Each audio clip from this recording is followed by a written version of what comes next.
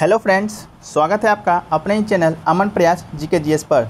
जैसा कि दोस्तों, आज आरआरबी एनटीपीसी सीबीटी टू का 17 जून का दोस्तों फ़र्स्ट शिफ्टों का एग्ज़ाम हो गया है तो उनमें पूछे गए दोस्तों कुल 45 प्रश्नों को जो हमें विद्यार्थियों के माध्यम से प्राप्त हुआ है तो उसके उत्तर को मिलाने का दोस्तों प्रयास करेंगे, जो कि दोस्तों सौ परसेंट रियल एंड ऑथेंटिक प्रश्न है। तो दोस्तों, अगर इस चैनल पर आप नए हैं तो चैनल को सब्सक्राइब कर लीजिए तथा बेल बटन को प्रेस करना ना भूलें। तो दोस्तों, चलिए शुरू करते हैं आज का हमारा पहला प्रश्न। आज का पहला प्रश्न पूछा था दोस्तों कि वन सर्वेक्षण रिपोर्ट 2021 के अनुसार सबसे ज़्यादा वन प्रतिशत वाला केंद्र शासित प्रदेश कौन सा है? तो दोस्तों, सबसे ज़्यादा वन केंद्र शासित प्रदेश वाला आपका जो राज्य हो जाएगा, वो हो जाएगा लक्षद्वीप, जो कि चौरानवे पॉइंट थ्री थ्री प्रतिशत के साथ दोस्तों सबसे ज़्यादा वन प्रतिशत वाला केंद्र शासित प्रदेश है। वहीं दोस्तों, राज्य में क्षेत्रफल के अनुसार पूछा, पूछेगा तो वो आपका मध्य प्रदेश हो जाएगा। वही दोस्तों, राज्य में अगर प्रतिशत वन, प्रतिशत में पूछेगा, वो आपका मिजोरम हो जाएगा और केंद्र शासित प्रदेश आपका लक्षद्वीप हो जाएगा। अगला पूछा था दोस्तों, सर्वाधिक गेहूँ उत्पादन से संबंधित प्रश्न पूछा था कि टॉप चार में कौन सा देश नहीं आता है?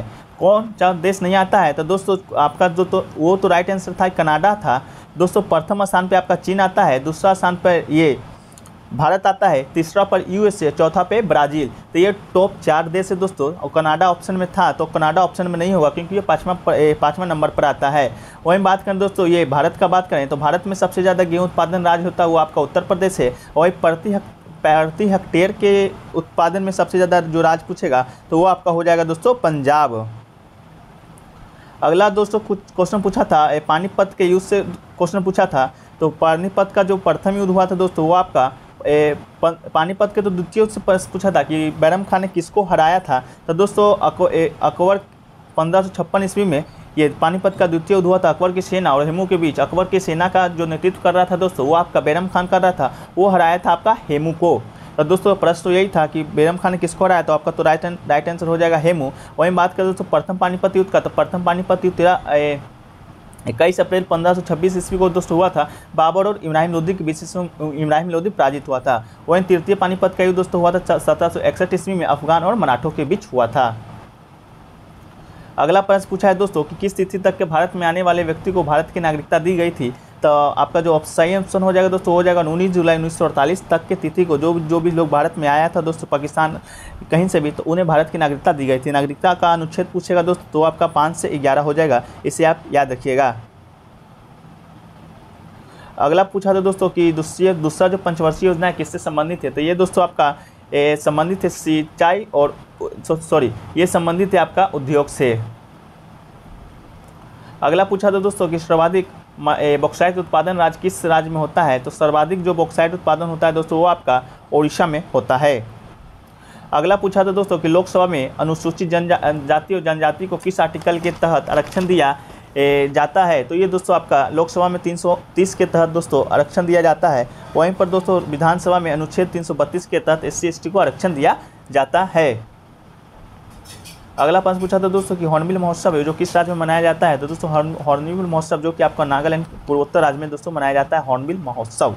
अगला प्रश्न पूछा था दोस्तों कि साथ जो कार्यक्रम है, वो किससे संबंधित है? तो दोस्तों ऑप्शन दिया गया था, बेरोजगारी से, महिला से, बच्चे से, या शिक्षा एवं स्वास्थ्य तो आपका जो राइट आंसर होगा, वो शिक्षा एवं स्वास्थ्य होगा। जो सात कार्यक्रम सात कार्यक्रम का जो फुल फॉर्म होता है दोस्तों होता है sustainable action for transforming human capital अगला पूछा था दोस्तों कि अंतर्राष्ट्रीय चावल अनुसंधान संस्थान कहाँ पर स्थित है? तो ये आपका दोस्तों मंडला फिलीपींस में स्थित है। इसकी स्थापना दोस्तों तेईस अप्रैल उन्नीस को हुआ था। अगला पूछा था दोस्तों कि सर्वाधिक घनी बस्ती वाला देश वर्ल्ड बैंक के अनुसार कौन सा है? तो इसका तो राइट आंसर अगर मालूम नहीं अगर मुझे मालूम होगा तो मैं कमेंट सेक्शन में पिन कर दूँगा। इस आप आप जिनको भी मालूम है कमेंट करके बताएँ। अगला पूछा था दोस्तों कि जैन धर्म के चौबीसवें तीर्थंकर महावीर स्वामी का वास्तविक नाम क्या था? तो ये दोस्तों आपका वर्तमान वास्तविक नाम था जैन तीर्थंकर। महावीर स्वामी का। अगला प्रश्न पूछा था दोस्तों के अपराधों के ये दोस्त सिद्धि के संबंध में सेक्शन से संबंधित कौन सा आर्टिकल है? तो ये दोस्तों आपका आर्टिकल तो आर्टिकल बीस है दोस्तों, जो कि अपराधों के दोस्त सिद्धि के संबंध में सेक्शन से संबंधित है।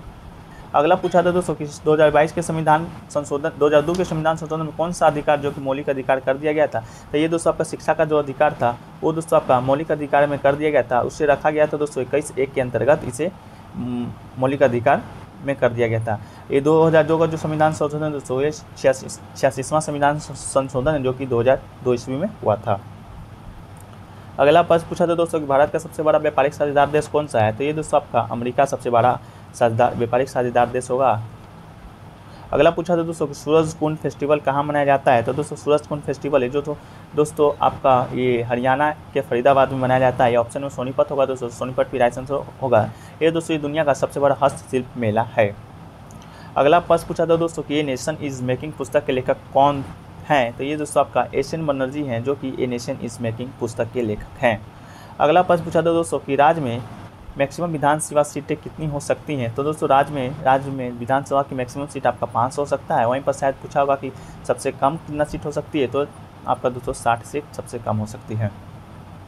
अगला प्रश्न पूछा था तो विश्व में दूसरे नंबर पर बोली जाने वाली भाषा कौन है? तो दोस्तों विश्व में सबसे सर्वाधिक दूसरे नंबर पर बोली जाने वाली जो भाषा है, वो आपका चीनी भाषा है। वहीं प्रथम स्थान पर दोस्तों आपका अंग्रेज़ी और तीसरे स्थान पर हिंदी और सेकेंड स्थान पर दोस्तों आपका पूछा था जो कि चीनी भाषा होगा।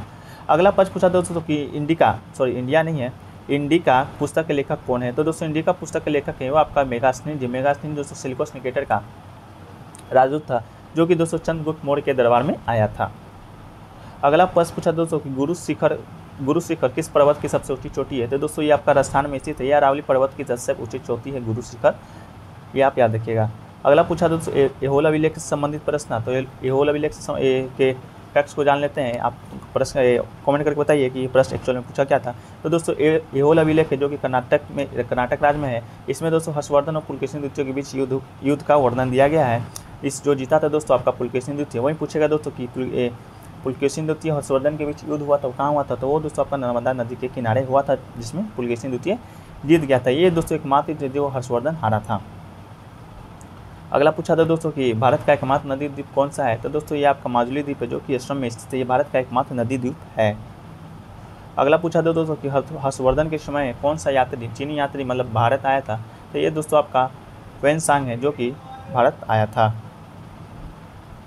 अगला प्रश्न पूछा था दोस्तों कि वर्ल्ड दो हज़ार बीस, वर्ल्ड बैंक दो हज़ार बीस की रिपोर्ट के अनुसार सर्वाधिक जनसंख्या वाला घनत्व वाला देश तो ये दोस्तों तो कन्फर्म ऑप्शन नहीं मालूम है। अगर आपको मालूम है तो आप कमेंट करके बताएँ। ऐसे दोस्तों नाइजर होना चाहिए, लेकिन आप देख लीजिए कौन सा राइट आंसर होगा, आप कमेंट करके बताइए। अगला पूछा था दोस्तों कि बंगाल की दुर्गा पूजा को यूनेस्को के विरासत स्थल में शामिल किया गया है। ये प्लस इसी से रिलेटेड था दोस्तों कि जो किस मतलब किस अमृत महोत्सव, किस अमृत स्थल को यूनेस्को की विरासत सूची के स्थल में शामिल किया गया तो दोस्तों बंगाल का दुर्गा पूजा आपका राइट आंसर होगा।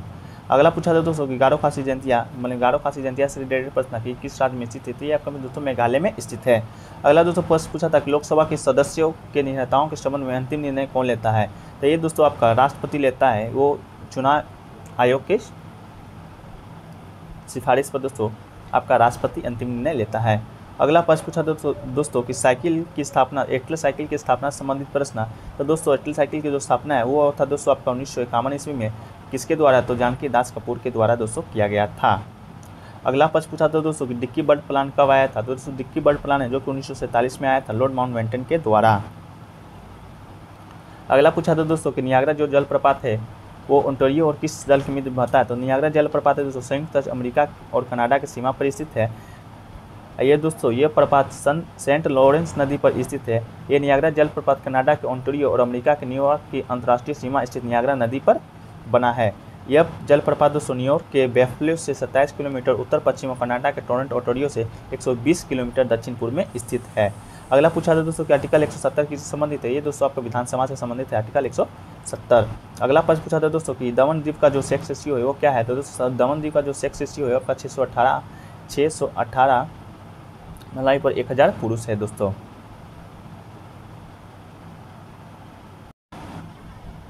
एक प्रश्न पूछा था दोस्तों, आपका नासा से संबंधित प्रश्न पूछा था। तो नासा का जो स्थापना हुआ था दोस्तों, वो आपका 1950 ईस्वी में 1950 ईस्वी में हुआ था। इसका जो हेड क्वार्टर है दोस्तों, वो आपका है वानसिंगटन डीसी में। एक प्रश्न और पूछा था दोस्तों कि समृद्ध लूप से दोस्तों प्रश्न पूछा था समृत लूप तो इसका जो आपका राइट आंसर हो जाएगा दोस्तों, वो हो जाएगा आपका रीना टोपोलॉजी रीना टोपोलॉजी। एक प्रश्न पूछा था दोस्तों आपका क्रोमोजोम से क्रोमो क्रोमोसोम क्रोमोजोम से संबंधित प्रश्न पूछा था ये दोस्तों क्रोमोजोम की संख्या दोस्तों, मानव में गुणसूत्र की संख्या दोस्तों छियालीस होती है, वहीं पर जोड़ों से जोड़ो जोड़ा पूछा हुआ तो वो कुल तेईस जोड़ों में दोस्तों आपका क्रोमोजोम होता है मानव मानव में।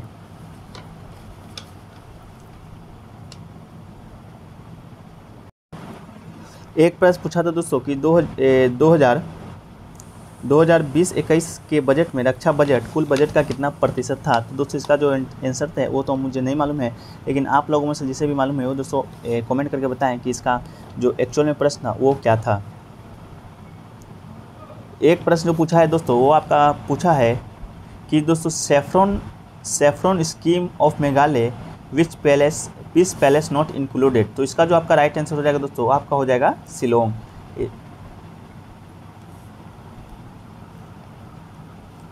तो दोस्तों, इतना ही प्रश्न। अब आज हमें विद्यार्थियों द्वारा प्राप्त हुए हैं। तो दोस्तों वीडियो कैसा अच्छा लगा? अगर वीडियो अच्छा लगा हो तो वीडियो को लाइक कीजिएगा दोस्तों, तथा दोस्तों में शेयर कीजिएगा। तथा इस चैनल पर आप नए हैं तो चैनल को सब्सक्राइब करना भी दोस्तों ना भूलें। तो मिलते हैं दोस्तों नेक्स्ट वीडियो में, जब तक के लिए जय हिंद, धन्यवाद।